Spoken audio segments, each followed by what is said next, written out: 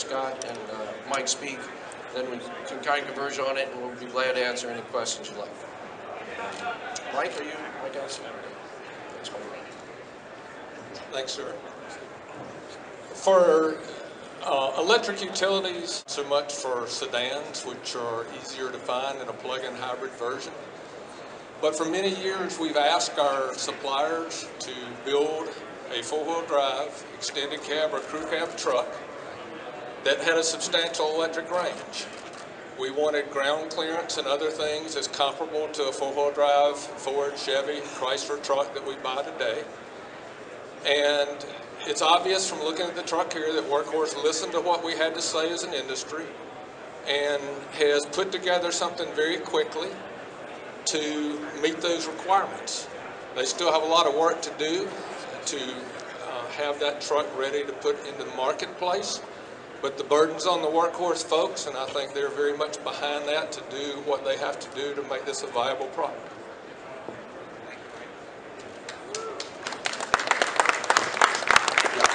Um, Thanks, Mike, and that's a good point. I should bring up a couple things. The other thing we wanted to do before I I hand it over to Scott here is, we wanted to make this, in addition to the greenest and the most affordable pickup truck in the world, we also wanted to make it the safest pickup truck.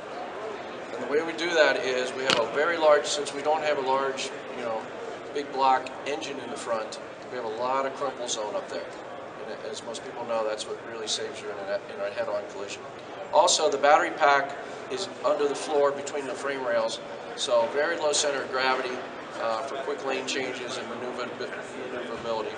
And we also, if you notice on the grill up there, there's some sensors. So we are in, uh, in the base trim package, we're including automatic braking and lane center.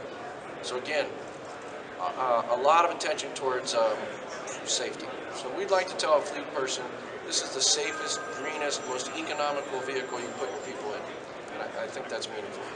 Uh, the other thing, real quickly, so you just don't think it's a good-looking uh, uh, piece of jewelry up here, uh, it's drivable. We drove it with journalists all day yesterday. Those articles are starting to come out. I think 10 of them came out in the last uh, few minutes since 5 o'clock. So it's, uh, it's, it's designed to be strong. That also, fortunately or unfortunately, makes it fast. It will do 0 to 60 in 5.5 seconds. Not necessarily most important to fleets, but if it's strong enough to tow and to haul, then if you're on a regular street and you're not towing and hauling, you have a very quick, quick piece to. Okay, uh, with that said, I'm going to introduce Scott. Thanks, Scott. So thank you, Steve, and uh, congratulations to you and the, the Workhorse team. This is a fantastic product, and uh, I can attest to that uh, 0 to 60 in 5.5 seconds. It, it does have great acceleration. So, you know, there's a few times in uh, the, uh, the career of us in the industry whenever you can think about you know, dates when certain things happen.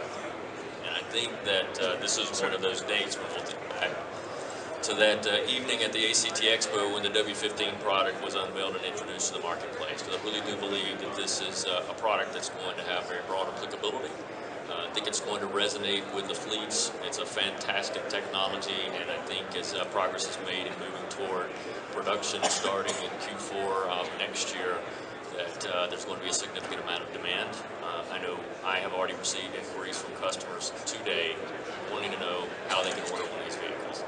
So the interest is definitely there. The product is fantastic. We're excited about the opportunity to be uh, the North American service partner and distribution channel for the Workhorse product. And it extends beyond the W15. It includes all of the Workhorse products uh, that are available today. And we're excited about exposing those to our customers. We're excited about including those in our portfolio. And we really look forward to, uh, to all the great things to come. So congratulations again to the group. And uh, are we ready for people to come, guys?